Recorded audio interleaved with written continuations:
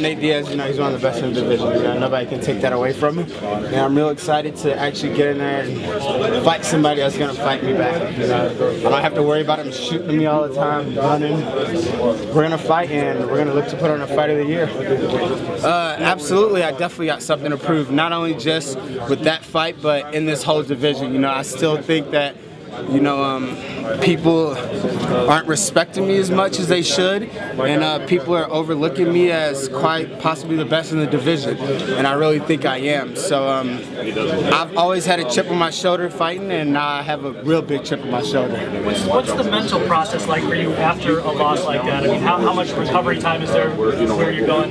And this, this sucks. I got screwed. Yeah, uh, there's no recovery time in it. You know, I I won that fight. You know, the judges just got it wrong. So in my mind, we did everything right. Uh, I executed my game plan extremely well, and you know they just got it wrong. So my mental processes, I just went back and started working hard, and now I'm getting ready for Nate.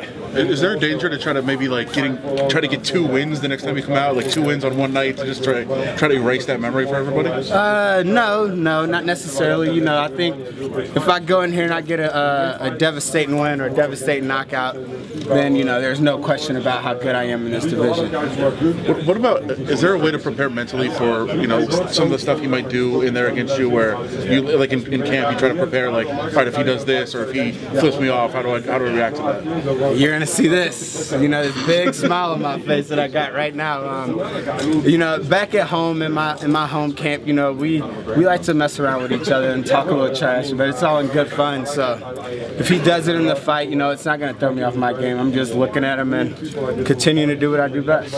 Are you an interested observer in the title fight from Saturday night? What do you think about Dos Anjos and Strong? I'm gonna watch, you know, because I'll be down winning my fight. Uh, but I think Cowboy's gonna win that. But at the same time, um, if I were those guys, I wouldn't get too comfortable with that title. You know, um, they're gonna have it for a very short time because after I get this win, I'm coming to take the title, and they won't be able to enjoy it that much. You might have to wait for Conor McGregor if uh, he comes up to 155. What are your thoughts on him joining the division? Fuck that! I am not waiting behind a fucking featherweight coming to my division trying to fight for the title. You know, um, Conor's a great fighter, but he's a featherweight right now. You know, he's not a lightweight. He hasn't fought any lightweights in the UFC, and it's a different world in there. So, you know, Conor's doing great things at featherweight. He might want to stay there because um, we're different animals up here in this lightweight division.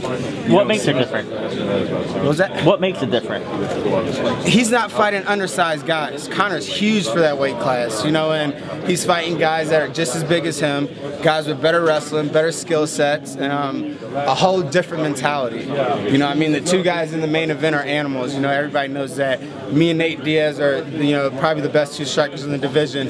You got Edson Barboza, who just took a huge loss. Tony Ferguson, I mean, just look at the top 10 in the lightweight and think that can compare to the top 10 in the featherweight.